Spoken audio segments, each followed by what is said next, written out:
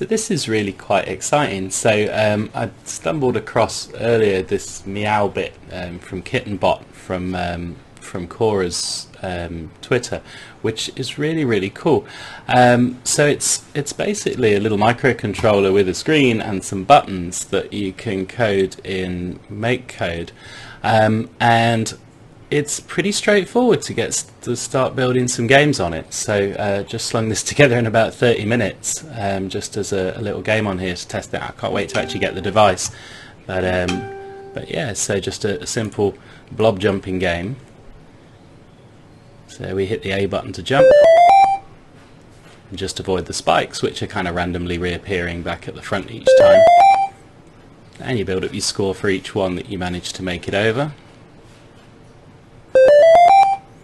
So I'll crash into the next one and you'll see.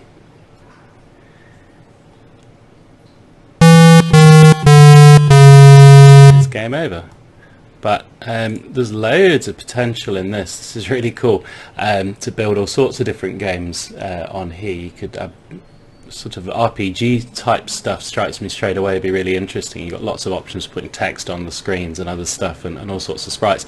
So really exciting. I actually can't wait to get hold of one um, to try and uh, try out some, some games on here and then get some of the kids using it as well, which would be, be super awesome. 好，喵 beat 做了那个选单游戏，我们先来试一下 B 游戏，叫 Star Wars。好，按下 A 开始。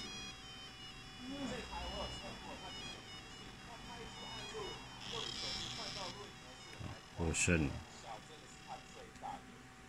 好，现在回到原画面，然后第一个是迷宫游戏，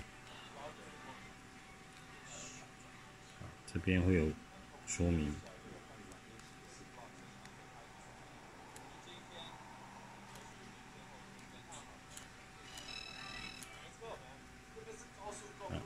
两个游戏的示范。